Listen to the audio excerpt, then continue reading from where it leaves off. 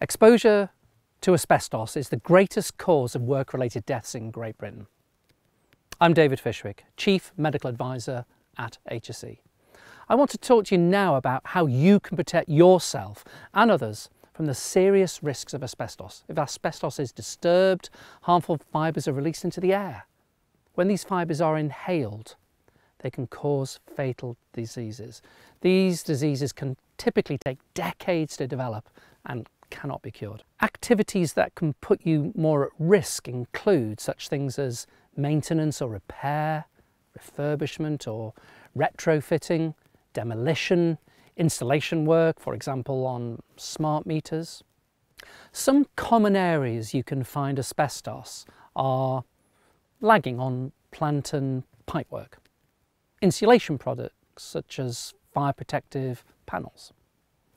Asbestos cement roofing material, textured decorative coatings such as Artex. Your employer must take steps to protect you and others from the dangers of asbestos. If you are self-employed, these responsibilities lie with you. If you are not expected to work on asbestos, your employer must establish if asbestos is likely to be disturbed during your work. Provide you with asbestos awareness training. This does not allow you to work on asbestos. Ensure you know what to do if you discover or disturb and release asbestos accidentally during your work. Before you start work, it is important that you and your employer talk about and understand the actions needed to keep you and other people safe.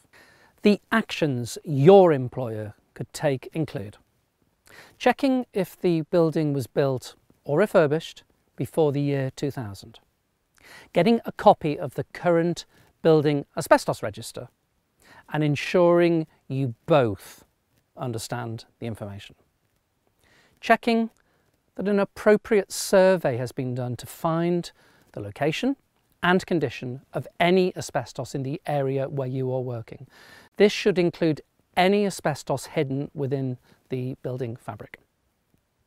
Planning the job, if possible, to avoid disturbing asbestos.